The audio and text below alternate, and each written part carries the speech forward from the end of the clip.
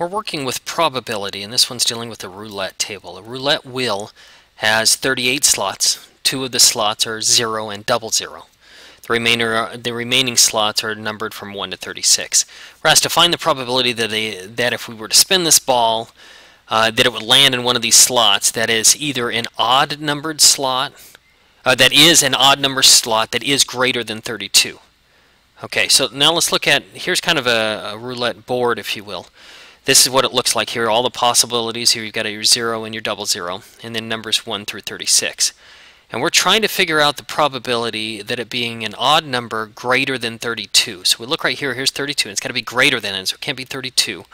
And it's got to be an odd number anyway, so we've got 33 is 1, and 35 is 1. So there are really only those two, and that's it. So we've got two possibilities. Remember, probability is our desired outcome divided by the total number available. So our desired outcome is 2 because there are two slots, 33 and 35. The total number available spots are 38. It looks like they're 36, but we've got to remember there's a 0 and a double 0.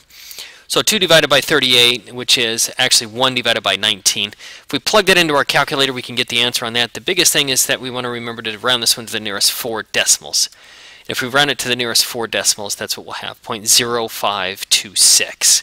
And this gets just a little bit confusing. Just remember that 0 and double 0 are actually slots available. Um, so it's a total of 38 possibilities, not 36.